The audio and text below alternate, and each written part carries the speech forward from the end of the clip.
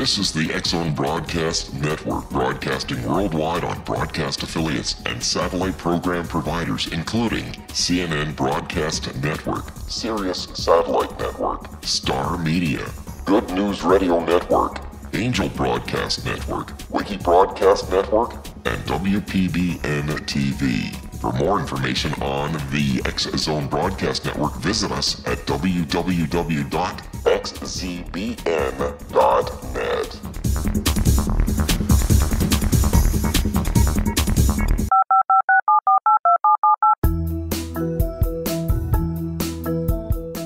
Did you know that when you're on the road with limited data or Wi Fi, you can still listen to the X Zone Radio Show with Rob McConnell, The Science of Magic with Gwilda Wiyaka, X-1, Dimension X, Space Patrol, and every minute of the X Zone Broadcast Network by calling 213-401-0080 courtesy of Audio Now. No smartphone, app, or internet needed. It saves your data plan and it's free if you have unlimited minutes. Call 213 401 0080 to listen on any phone, anytime, anywhere. Remember 213 401 0080 for the best of the paranormal, parapsychology, and sci fi radio programming anywhere 24 7 365. And welcome back to the Zone, everyone. My name is Rob McConnell. We're coming to you from our studios in Hamilton, Ontario, Canada. Worldwide toll free 1 800 610 7035. Email xzone at xzoneradiotv.com. On MSN Messenger, xzoneradiotv at hotmail.com. And our website, www.xzoneradiotv.com. My guest this hour is Dr. Patrick Heron. He joins us from the Emerald Isle of Ireland uh, this evening. We're going to be talking about the Nephilim and the pyramids. Now, Dr. Patrick Heron was born in Dublin in 1952. He was 24 years old when he had a Saul on the road to Damascus type of epiphany while reading the Bible. Thus began his Christian walk. He became interested in the Bible prophecy concerning the end times. About 1996, that was. In 1997, his first book, Apocalypse Soon, was published and became a bestseller in Ireland. Now, uh, it entered the Irish bestseller list after an interview with Gareth O'Callaghan, an RTE radio, who said, This is a quote, read it in one sitting, read it in one sitting, and was gripped. Joining me now from Ireland is the one and only Dr. Patrick Heron. And uh, Pat, welcome back to the X Zone. Rob, it's lovely to speak to you again. Uh, Pat, you are one of the busiest people that I know these days. Um, tell tell me, what have you been up to? Well, uh, I wasn't too busy for seven weeks after Christmas because I went over to New Zealand and spent seven weeks over there. Uh, I've got three daughters, and two of them are now living and mm-hmm. working in Christchurch, New Zealand. They right. were in, middle, in the middle of the big earthquake that happened last year. So uh, we went and spent seven weeks over there with them because it's an absolutely stunning country. Uh, the best run country I've been ever been in in my whole life, and everything that we do wrong here in Ireland, politically and financially and every other way, they seem to do properly over there. It's absolutely very prosperous place. It's full of mountains and rivers. If you like fly fishing, yeah, and hunting, it, it's just a stunning, stunning country. And driving around Rob in the any of the, the North Island or the South Island uh, when you come into a town, any town, say 4,000 people, it looks like it's just been done up and painted because the President of the United States is coming tomorrow. But that's just the way they are. It's a fabulous place. It has one slight drawback, though, and that is, is that there's a fault line running right down through the whole two islands. Wow. So even when we were in Christchurch with our girls, we were getting shakes almost on a daily basis. But it's an absolutely beautiful place, and if I was in my 20, 20s or 30s again, I'd be gone. Well, Pat, we're glad you got home safe and sound uh, because tonight I'd like to talk to you about a couple of things. I'd like to talk to you about the Nephilim as well as the pyramids of the apocalypse. And um, tell me, Pat, we've got about a minute before I have to take my break. What is your impression of what's going to happen on December the 21st, 2012?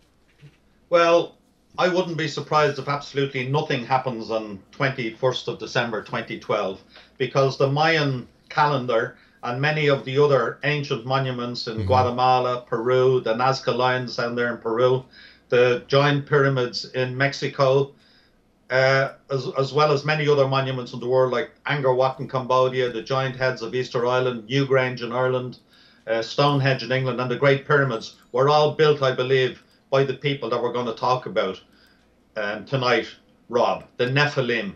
There is one connection between a Neolithic tomb here in Ireland and the Mayan calendar, and I can get that back to that after the break. All right, why don't we do that? Pat, thanks very much for joining us tonight. Always a great pleasure having you on the show. Exonation Dr. Patrick Heron is my special guest. His website, neph.ie.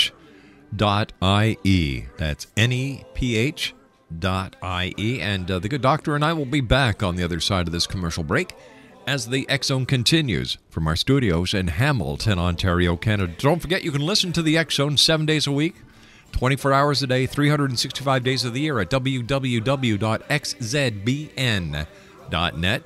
forward slash live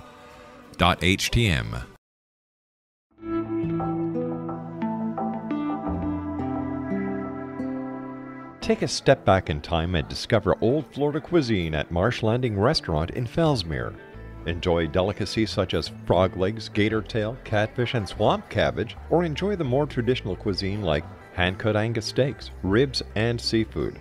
Join us for breakfast with a southern flair featuring sweet potato pancakes, biscuits, and gravy, and much more. Planning a party? Marsh Landing's private dining room can accommodate groups from 8 to 80 people. While you're visiting, enjoy the historic pictures, artifacts, and stories that line the walls. Marsh Landing is truly a unique experience. Marsh Landing Restaurant, 44 North Broadway in historic Fellsmere, or visit marshlandingrestaurant.com. Marsh Landing, Old Florida cuisine at its best.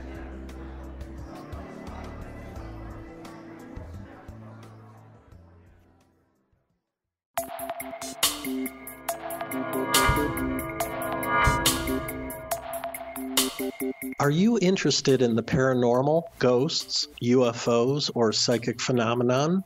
Join me, Tim Bartley, co host of Talking to Spirits with Lightworkers Tim and Justina, coming mid January 2017 to the XZBN.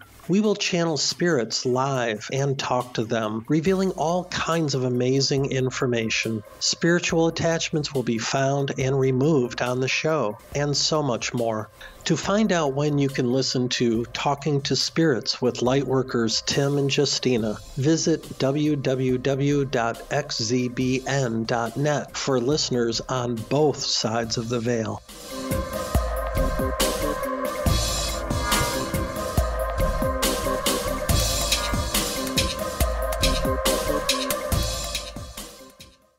And welcome back. Every time I hear that song, it reminds me of the Irish joke. What's the difference between an Irish wedding and an Irish wake? One less drunk. 1 800 610 7035, worldwide toll free. Dr. Patrick Heron is my special guest this hour. His website, neph.ie. That's neph.ie. Pat, before we went to the break, uh, you kind of uh, gave me a bit of a, a teaser by saying that there's a connection with the Mayan calendar and something else. What was that? It's a place called Newgrange in Ireland. It's a Neolithic tomb. Mm-hmm. It's about exactly 30 minutes from where I'm sitting right now, which is north of Dublin. Um, it covers about three acres. It's all made up of stones, mm-hmm. and then it's got grass on top of it. But there's one uh, opening to it and this and when you go into this opening, Rob, you've got to bend down and you you go, you walk in, and in the middle of this Neolithic tomb, there's an inner sanctum, and on one day of the year, when the sun rises, mm-hmm. because of the angle of the sun, it illuminates that inner circle just on one day of the year, and that one day happens to be the 21st of December which is the winter solstice. And, and so isn't, isn't that strange? Because when we were in Mexico uh, visiting the Mayan ruins in Tulum, there is one chamber there that the exact same thing happens, except it's June 21st, the summer solstice. Yes, well, the, the thing is, is that it's the same with the Great Pyramids of Giza in Egypt, which mm-hmm. we're going to discuss. There are four what they call star shafts uh, in the Great Pyramid of Giza, two on the north face and two on the south face. And these four point at four distinct stars Draco, Sirius, Orion, and Beta Ursa Minor. So many, many of these monuments around the world that there's no accounting for, like the, the pyramids in mm-hmm. Mexico, the pyramids in Guatemala, where you were in Mexico. There's a, a lot of stuff in Nazca, Angkor Wat in Cambodia, as I say, the, the giant heads in Easter Island, Newgrange in Ireland, Stonehenge.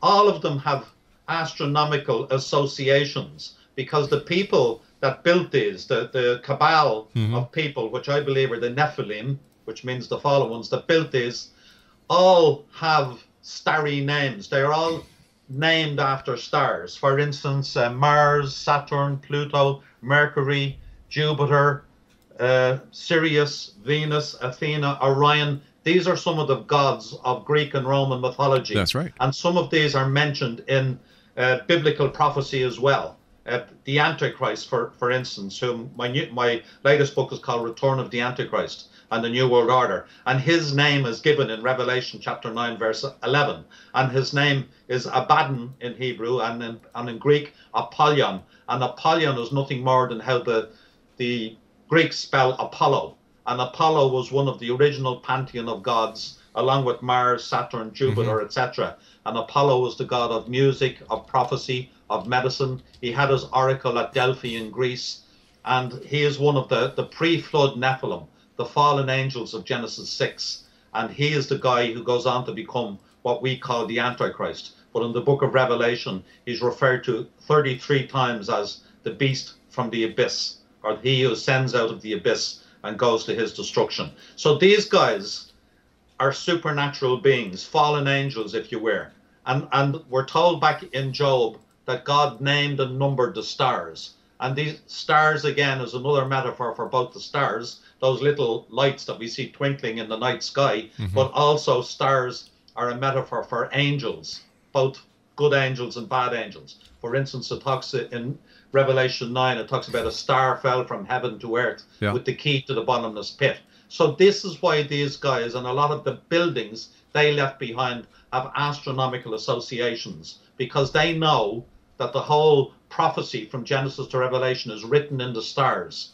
Uh, that's how the Magi knew that the Messiah was going to be born because they knew this knowledge was written in the 12 constellations of the of the the books of the zodiac and each book has three chap three chapters and each of those chapters is split down into another three so these beings these supernatural beings are very, very informed by the stars and aware of them, and thus a lot of the buildings and monuments they left behind have astronomical associations, such as the winter solstice and the summer solstice. You know, it's, it's funny you should mention uh, the angels and the stars because when I was a little kid, I remember my mom telling me on one summer night, she we were looking at the stars and she said, each and every star that you see is a window in heaven, and behind each window is an angel. Well, that's interesting little insight. I never heard that before. Yeah. But she, she, she was. Uh, I guess she there was a certain amount of truth in what she was talking about there. Yeah.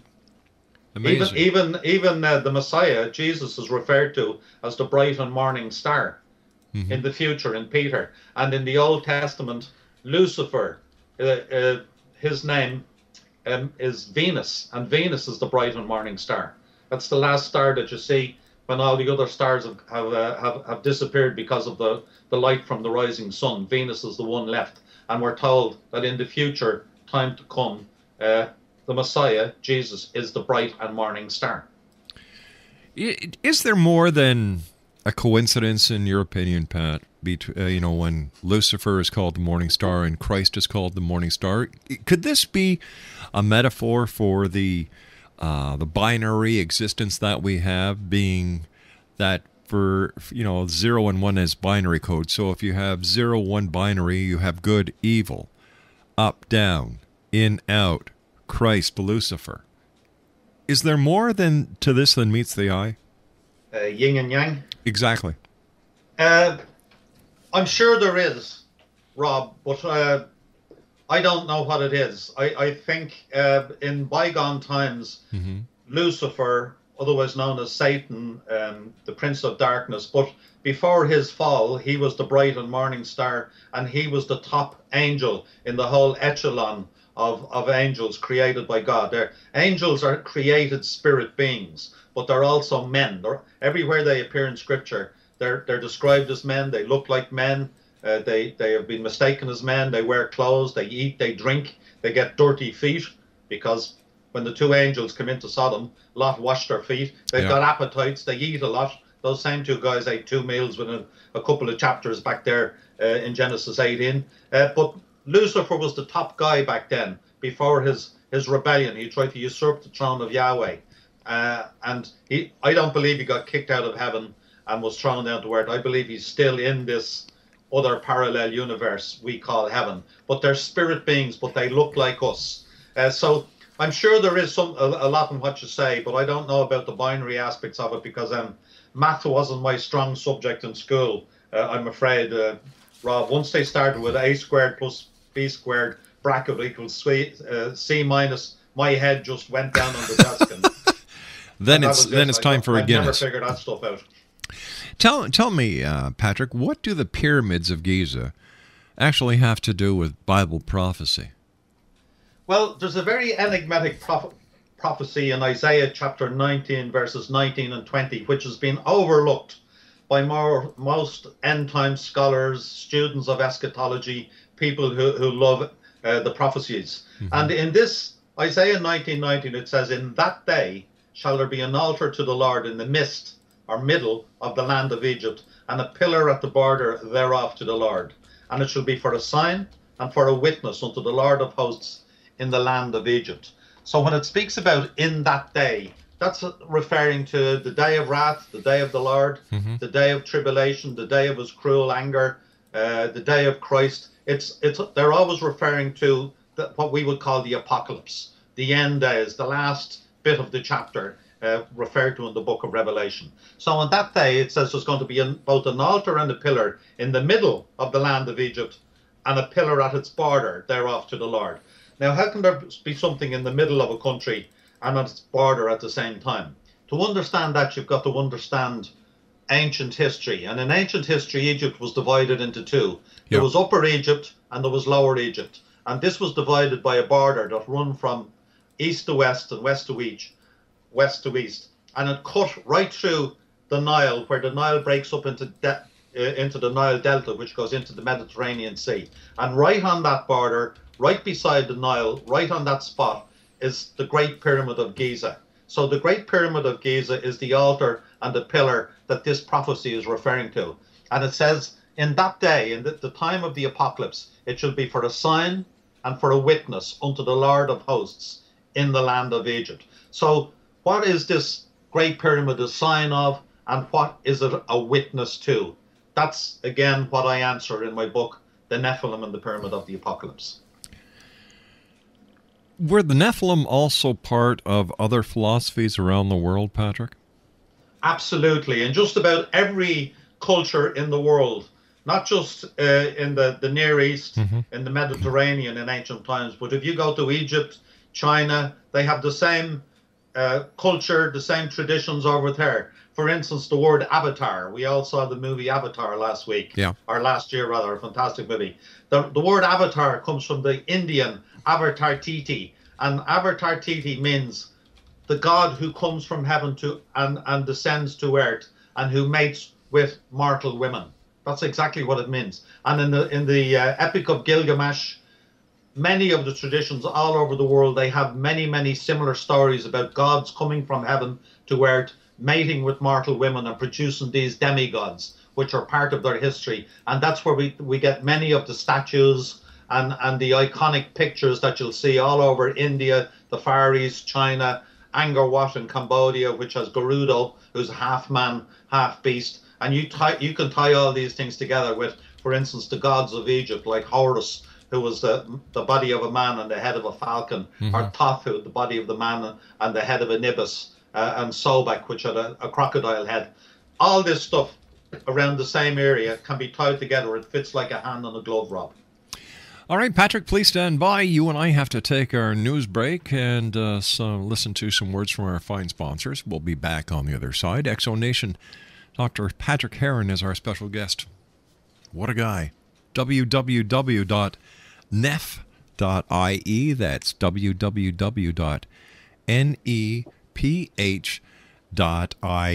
And I'll be back on the other side of this commercial break with Dr. Patrick Heron as we continue our discussion on the Nephilim, the Great Pyramids, and much more. We're going to be talking about the Antichrist. This coming up here in the X Zone with yours truly, Rob McConnell. We'll be back on the other side of this commercial break. Whatever you do, don't go away.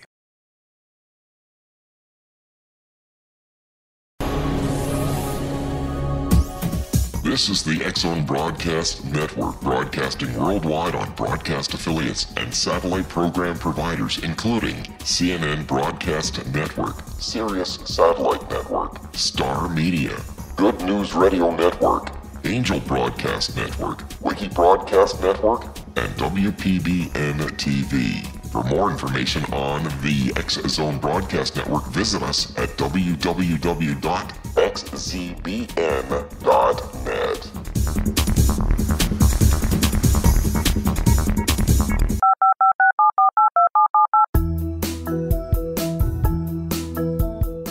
Did you know that when you're on the road with limited data or Wi Fi, you can still listen to the Zone radio show with Rob McConnell, The Science of Magic with Gwilda Wiyaka, X 1, Dimension X, Space Patrol, and every minute of the Zone broadcast network by calling 213 401 0080, courtesy of Audio Now.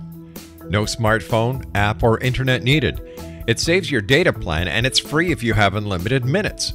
Call 213 401 0080 to listen on any phone, anytime, anywhere. Remember 213 401 0080 for the best of the paranormal, parapsychology, and sci fi radio programming anywhere 24 7 365. Ah, welcome back, everyone. There's nothing better than an Irish pub any night of the week. Right, Pat? Absolutely, yeah, with a few pints of the black stuff. You've got that right, my friend. And a, and a little bit of Tullamore Dew whiskey to chase it down, Rob. Tull- Tullamore Dew, it's as smooth as a baby's bum. And if you if you uh, put a small drop of water through a Tullamore Dew whiskey, it'll go down your throat like a torchlight procession and light up the toes in your boots, Bigara. Now, I'll tell you, if that doesn't make you want to go to your local Irish pub tonight, nothing will. In fact, I think I'm, I'm going to take Laura to the Whistling Walrus tonight for supper. Yeah, there you go. Patrick Heron is our special guest, a great guy. Um, it's always enlightening to have Patrick with us here in the Zone. His website is neph.ie, N-E-P-H dot ie. And Patrick, before we went to the commercial break, uh, we were talking about the pyramids, and I was wondering if we could, if we could finish that off because I really want to talk to you about the Antichrist. Okay, well, basically, very quickly, we just mentioned that the, the Pyramid of Giza is was going to be a sign of and a witness to something in the last days. Let me just give you a little uh, few of the mathematical properties associated with the Great Pyramid of Giza. Now, originally, Rob, it was finished in a polished white limestone. The whole pyramid was polished white limestone. So it would have been white, smooth, iridescent, uh, impossible to climb or surmount. It was uh, visible from as far away as the curvature of the earth allowed in those days. It would, must have been an absolutely amazing sight, gleaming in the light of the sun and back in, those days. Each side of the Great Pyramid is an equilateral triangle which faces exactly to the true north, south, east. Each side of the base of the pyramid, of the Great Pyramid, the length is 365.2422 cubits in length. The angle of the slope of the pyramid rises at 10 to 9. That is, for every 10 feet you go up, you rise in altitude by 9 feet. And if you take the height of the Great Pyramid, multiply it by 10 to the power of 9, you get 91,840,000, which just happens to be the exact distance from the Earth to the Sun in miles. Uh, it's almost in the exact dead center of the world. Um, it intersects the 30th par- parallel, both longitude and latitude. There's, there's enough stone in it to build a six foot wall from New York to Los Angeles. Wow. If it were a pyramid, it'd be six, uh, or excuse me, if, if it were a, a skyscraper, it would be 42 stories high, which meant that it was the tallest building in the world for thousands and thousands of years. The solution to the mathematical problem of, of how to square the circle is incorporated in the geometry of the Great Pyramid. But what we've been asked to believe is, is that ancient Egyptians or primitive man, if you want, r- running around the desert dressed in animal skins, built this incredible monument, which we couldn't build today, by the way, with all the money and machinery we have. We couldn't do it. Yet we're asked to believe that these guys built it, this, yet somehow they hadn't figured out how to invent the wheel. You So- know, now that's that's a, that's a bit like saying if you give a screwdriver to a chimpanzee, he's going to make a television set for you. So, So there's something. Go sorry, ahead. go ahead. I, I was just going to ask you. So, who do you think built the pyramids? Well, I've no doubt that it was built by these guys called the Nephilim, which are who are mentioned in Genesis chapter six, verse 4 In mm-hmm. the Bible, it says there were Nephilim in the earth in those days, and also after that, when the sons of God came in unto the daughters of men, and they bare children to them. These Nephilim, as I say, are what you and I would call fallen angels, but they're spirit men. They're, they're men, but of a spirit nature. We do not know what spirit is, but we look like them, they look like us. That's why it says several times in Genesis, let us make man in our image. And these spirit men fell. Nephilim means the fallen ones, hence fallen angels. They fell from heaven, mm-hmm. fell to earth, and fell from grace.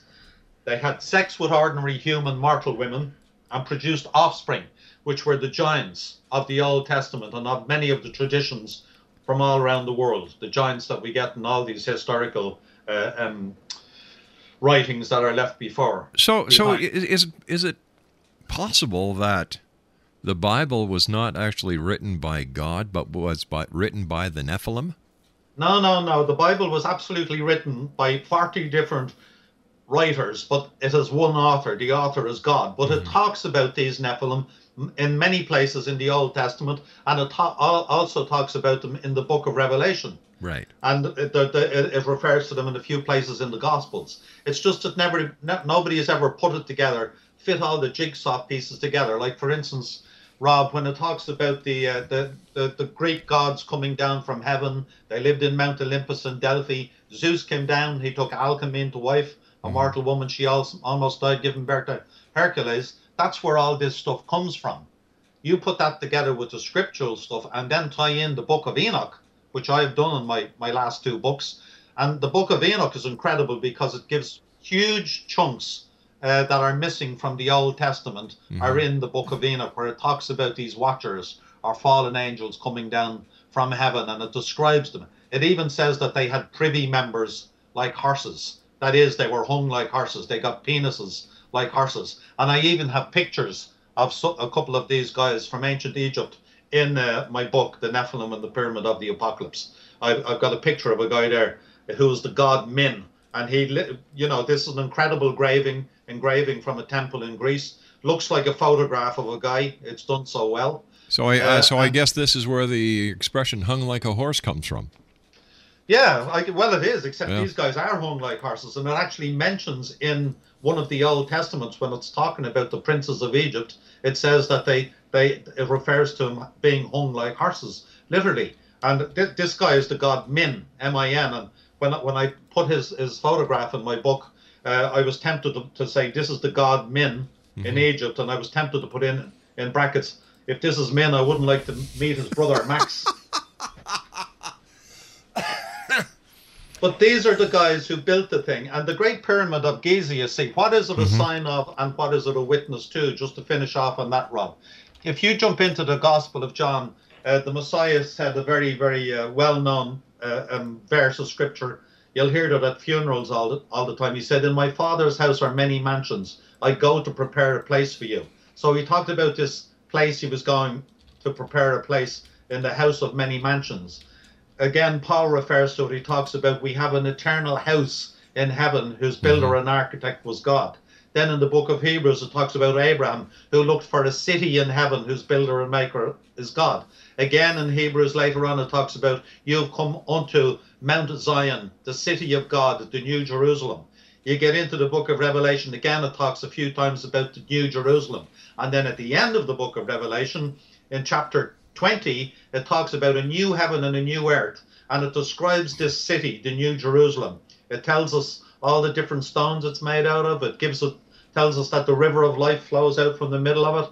It says it's got 12 gates made out of a single pearl each. It says the water of life is there for, for the healing of the nations. And after this lengthy description, it gives the dimension, gives us the the dimensions of this future city, and it says its length and its breadth and its height are the same. I believe that is a pyramid in shape. So when the uh, prophecy in Isaiah says that the, the altar and pillar pillar mm-hmm. or the great pyramid in Giza is going to be sign and a witness to something in the last days, what I am saying is is that the great pyramid of Giza, originally finished in a polished white limestone, is a, a, a replica of the celestial city, the New Jerusalem, Mount Zion, the city of God, the place where the Messiah went to, where he is now, going to prepare a place for us, and that this is a pyramid in shape. So we have the Great Pyramid of Giza pointing into the future at this future pyramid city, the New Jerusalem, and we've got the New Jerusalem, the city of God, pointing back at the Great Pyramid of Giza. There is a connection between the two, and that is what that enigmatic prophecy in Isaiah 19, verses 19 and 20 is about. The only thing I believe, Rob, is, is that the fallen angels, uh, the devil, Lucifer, and his princes, when they fell to earth, you know, uh, somebody said that the devil, the devil never had an original idea. He always copies or imitates or apes what the true God did does. So when these guys fell to earth, they built this incredible pyramid right in the middle of the world, white shining limestone with all its astronomical and mathematical associations. But they built this as an earthly representation of the celestial city that they had come from. It's a, it's a an earthly representation of the New Jerusalem, which is in this parallel universe where in there, these other gods live. The Messiah mm-hmm. sitting on the right hand of his Father, who we call the, the the Most High God, surrounded by a whole bunch of these other spirit men. We call them angels, like Gabriel and Michael, and 24 Abra- uh, um, elders mm-hmm. sitting on 24 thrones. We don't know who they are, but that is what the Great Pyramid represents but I believe it was built by the fallen angels, the Nephilim, as a monument to their own pride, their own ego. Why do you think the pyramid was built in in Egypt and not somewhere else in the world? Well, I mean, there's lots and lots of pyramids uh, in the world besides Egypt. I don't know. You were in Mexico if you yeah. saw the Pyramid of the Sun and those other incredible course, pyramids sure. down there, which yeah, are just amazing. Yeah. But I don't know why exactly Egypt, but I do know that it's almost a dead center of the world. It's only about 20 miles off the actual dead center of the whole world. Maybe that has something to do with it. I know that the four star shafts, the four star, star shaft align with four stars. Maybe that has something got to do with it. Perhaps the Nile uh, is a representation of the Milky Way because we're told that where the pyramids are situated, those three pyramids uh, are supposed to be a reflection of Orion's belt.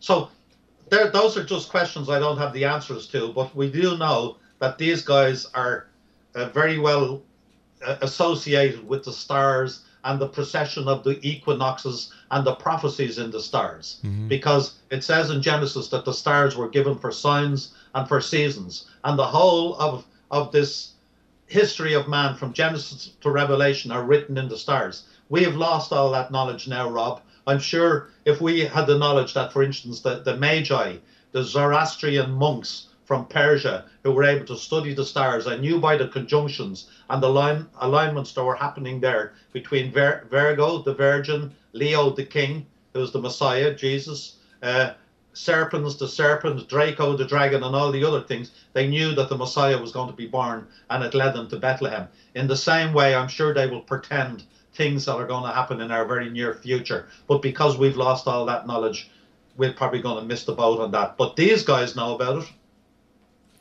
So, so tell me, what's the story uh, on the on the Antichrist? Um, you know, are we in the end times? How do we know if and when the Antichrist is coming, and how do we know that this this is really true? Well, I'll tell you how we know it's true. It's because about 30% of the Bible is prophetic, maybe mm-hmm. more, maybe up to 40% of the Bible is prophetic. It's the only book in the world that is actually prophetic. It tells you things that are going to happen before they do. Like, so then the veracity and truthfulness is borne out by the fulfillment, or if it's not fulfilled, then you can throw it away and read, you know, War and Peace or Ulysses or something. Mm-hmm. But the point is, is that and, uh, many of your listeners will have seen that movie, The Passion of the Christ. Sure. In the last 24 hours of the of the of the life of the Messiah, 25 specific prophecies came to pass that were all written hundreds and hundreds of years BC. For instance, I'll give you a few. It said he was going to be betrayed by his friend, mm-hmm. that he would be betrayed for 30 pieces of silver, that his friend would use the money to, to buy the potter's field, uh, that his friend would commit suicide, that he'd be crucified with thieves and robbers, that they would stick a spear in his side and blood and water would come out, that they would gamble over his seamless robe, etc., uh, etc. Et 25 specific prophecies in one 24 hour period. In fact, the Messiah fulfilled 106 specific prophecies in his life. All the other prophecies that were given in prior to the Messiah coming throughout the Old Testament, all have come to pass with 100% um, accuracy to date. Not one of them has, has, has missed out. And the one, of course, with regard to the end times, Rob, is regard to the Jews. Many, many prophecies said the Jews would be kicked out of Palestine, scattered all over the face of the world, and everywhere the Jews would go, they would be persecuted and despised and hated. And mm-hmm. that happened in 70 AD when uh, Titus, a Roman general, sacked Jerusalem, slaughtered about a million Jews. The Rest of them were scattered over the four corners of the world, hence the wandering Jew. They were hated and persecuted everywhere they went, which culminated the Holocaust in Germany in the Second World War. But many, many other prophecies said in the last days, God would regather his chosen people and establish them back in Palestine for the last time, for the second, in fact, the third and last time, and that he would do this as a sign to the rest of the world that we were in the last generation. In fact, one prophecy said that that would happen in one day. And on one day back in May 1948, the, the, the Brits went into the UN with a mandate or a proposal that Israel be made a nation state again. It was backed up by the Yanks. So literally in one day, Israel became a nation state again. All right, stand by, Patrick. We've got to take our final break here. Patrick Heron is our special guest, Dr. Patrick Heron, that is. www.neph.ie. That's www.neph.ie. We'll be back on either side of this break. Don't go away. Hi, I'm Larry Lawson, host of Paranormal Stakeout. With over 36 years in law enforcement, I have learned a few things. The most important is the proper gathering and preservation of evidence is vital to putting the bad guy behind bars. It's no different in the world of paranormal investigation. Whether it's the search for the afterlife, cryptozoology, UFOs, and extraterrestrials, how we gather the evidence, preserve that evidence, and present it to a jury of our peers will make the ultimate difference in proving the existence of worlds and entities that are beyond our imagination. Join me, Larry Lawson, every week on Paranormal Stakeout when, along with my guests, we'll take a journey to prove with indisputable evidence what man has struggled to believe for centuries. Go to xzbn.net for the broadcast schedule and check me out at paranormalstakeout.com.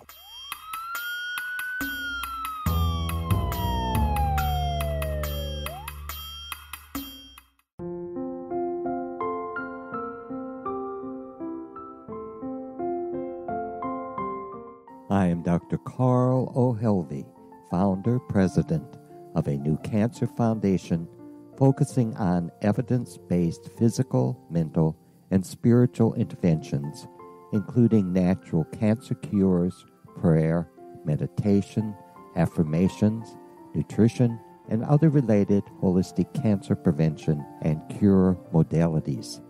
These are used in cancer education, research, and financing care. I ask for your help to continue this important work by donating at www.holisticcancerfoundation.com.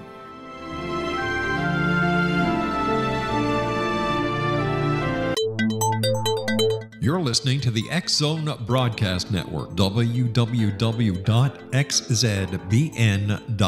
Welcome back, everyone. Dr. Patrick Heron is our special guest. His website is www.neph.com neph.ie. That's N E P H dot I E. You know, Pat, time goes by so fast whenever you're with us. We're have, going to have to have you back on to continue our conversation about the Antichrist, the end times. And I, my, my final question for you, Pat, is that throughout the ages, throughout the years, the Bible has been edited, re edited, re edited, re edited. Is it possible that the true meaning of the apocalypse, the book of Revelations, was edited out, and that what we read today is not what was written so many years ago? No, I wouldn't concur with that at all, Rob. Uh, on the contrary, the Old Testament was protected in such an incredible detail by the Jews right up to the time of the Messiah Mm-hmm. that only photocopying would be more accurate. You know, when they were copying out the Old Testament, um, when they got to a place where uh, it mentioned God, Jehovah, Yahweh, they used to go and change their clothes. If they got to the end of a page, they used to uh, um, burn their pen and get a new pen. They, they, they went to extraordinary lengths. And, and the Old Testament was written in Hebrew, and the New Testament is written in Greek. And both of those languages are mathematical as well as literal. That is, they all have letters associating with them. You know, alpha, beta, uh, delta, omega, etc. All have numerical values. So you can't screw around with words and distort them or edit them. So no, it hasn't been edited out. You you can take uh, different versions and they might put in some um, words which are a little different Right. than maybe the word in the King James version. By by and large, you're going to get exactly what the Messiah went. And you know, 96, 97% of it is plain simple stuff. In my father's house are many mansions. I go to prepare a place for you, and if I go and prepare a place for you, I will come again and take you unto me, that where I am, there you may be also. Most of it's just plain English. Right. Uh, Pat, we've got about uh, 40 seconds left. What would you like to leave the Zone with tonight? Well, uh, my X Zone, if you want links to my book, you can get my uh, The Nephilim and the Pyramid of the Apocalypse and Return of the Antichrist and the New World Order. They are ebooks, they're audio books. They're only about $10 on Amazon or in your bookshop or Barnes and Noble. I also have a YouTube channel. Uh, so it, I've got, you know, 14 YouTubes up there on a lot of this stuff on the, the Nephilim, the fallen angels, and on various chapters from my book. So people are welcome to go and watch YouTubes if they don't like reading. Patrick, take care of yourself, my good friend. And uh, quickly give our listeners your website one more time. One more time, it's www.neph.ie. That's N-E-P-H.ie. And thanks a million, Rob. Great to talk to you again. God bless you. And Take- God bless all your grandchildren. Thank you very much, my friend. Now, go grab the Guinness before it's too late. I shall. X Zone Nation, Dr. Patrick Heron has been my guest. Once again, his website is www.neph.ie, and the good doctor will be with us in the next couple of weeks because we want to continue our conversation on the Antichrist. My name is Rob McConnell. This is the X Zone. I'll be back on the other side of this commercial break with the news as we continue from our studios in Hamilton, Ontario, Canada. Don't forget you can listen to the Zone 724 365 at xzbn.net forward slash live dot htm.